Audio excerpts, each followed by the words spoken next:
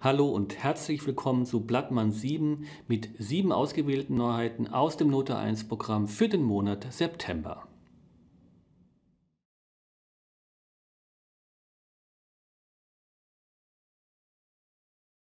Im November feiert der belgische Dirigent und Hammerklavierspezialist Jos van Immerseel seinen 70. Geburtstag.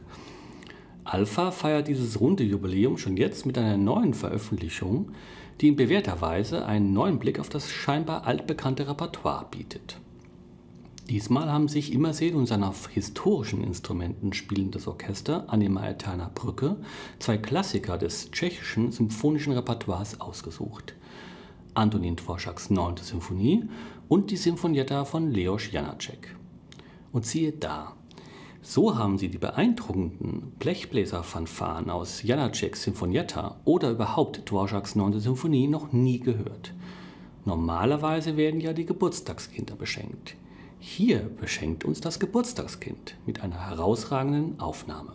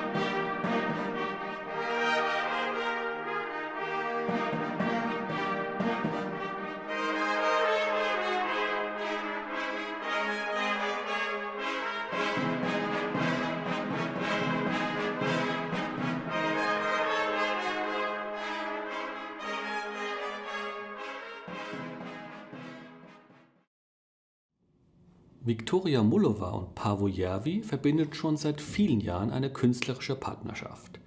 Das macht sich in dem hervorragenden Live-Mitschnitt des zweiten Violinkonzerts von Sergei Prokofjew vom ersten bis zum letzten Takt bemerkbar.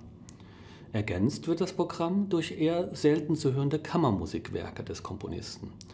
In der Sonate für zwei Violinen ist kein geringerer, geringerer als Teddy Papaframi ihr musikalischer Partner. Einmal mehr erweist sich Viktoria Mullova als eine der besten Geigerinnen unserer Zeit.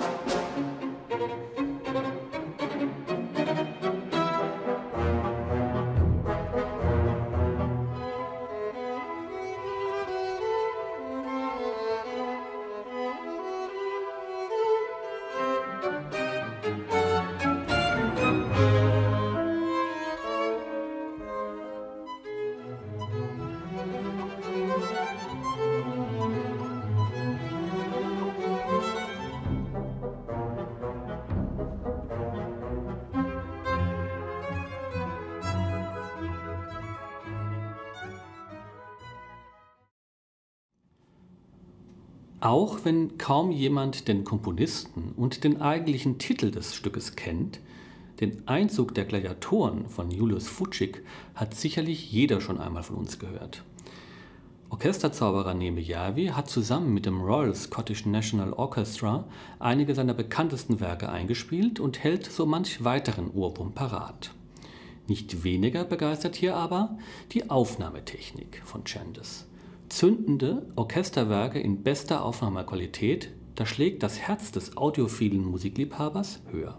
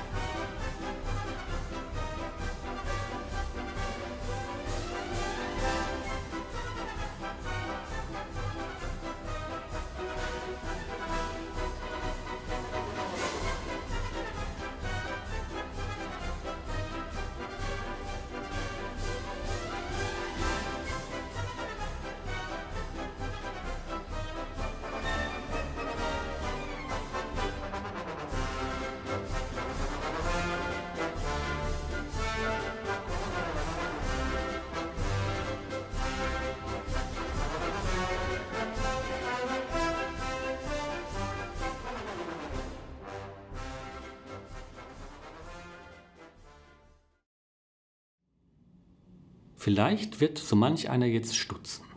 Fabio Biondi und italienischer Belcanto des 19. Jahrhunderts? Biondis erklärtes Ziel ist es, mit seiner Einspielung von Bellinis I Capuletti e Montecchi die Entdeckung bislang unbeachteter Details zu ermöglichen und dem Zuhörer so eine neue Sicht auf das Werk zu vermitteln. In seinem Booklet-Text berichtet er, wie sorgfältig zum Beispiel die originalen akustischen Gegebenheiten berücksichtigt wurden.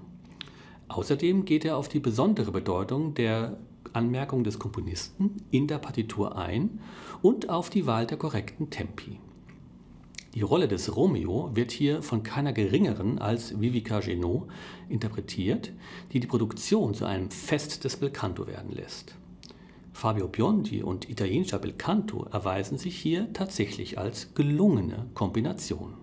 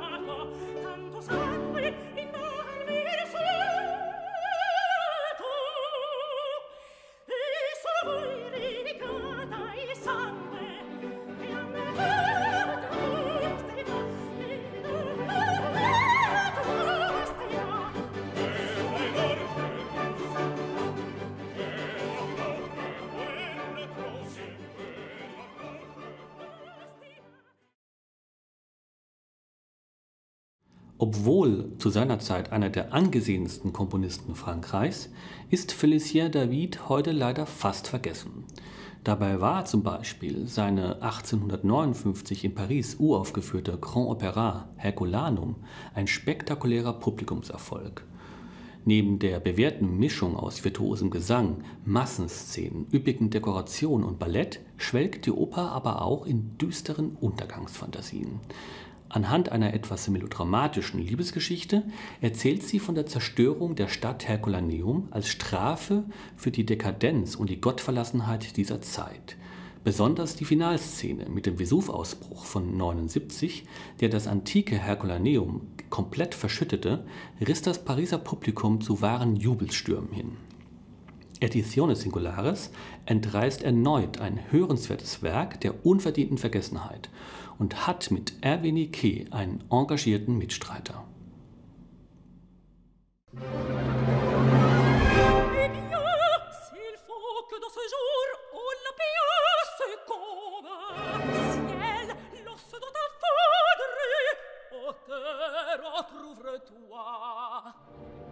Creusez-moi de moi une royale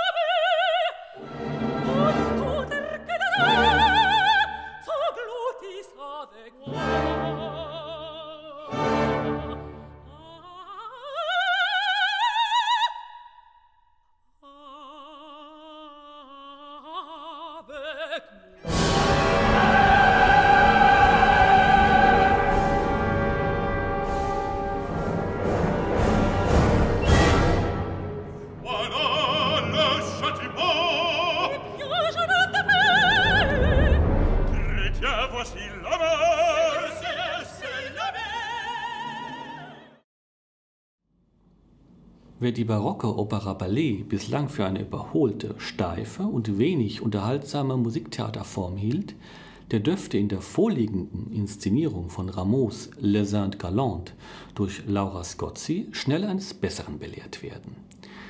Hier sorgen witzige Einfälle, gekonnte Aktualisierung und musikalische Spitzenleistung für beste Unterhaltung. Christophe Rousset und Le Talent Lyrique erweisen sich einmal mehr als Spitzenkräfte in Sachen Rameau. Die Produktion erscheint als DVD-Video und als Blu-ray.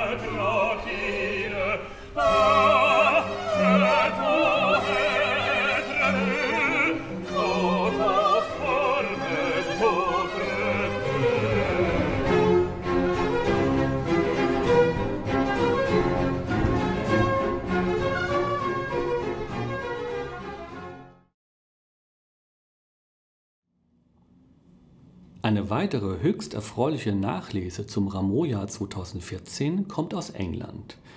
Die Aufnahme mit Jonathan Williams und dem Orchestra of the Age of Enlightenment schließt eine Lücke in der Rameau-Diskografie und macht mit bislang völlig unbekannter Musik des Großmeisters der französischen Barockoper bekannt. Der hier erstmals eingespielte Acte de Ballet Anacreon von 1754 ist nämlich nicht zu verwechseln mit dem bekannteren gleichnamigen Entree aus der Ballettoper Les Surprises de l'amour von 1757. Beide basieren auf unterschiedlichen Libretti, haben unterschiedliche Handlungen und enthalten natürlich auch völlig unterschiedliche Musik.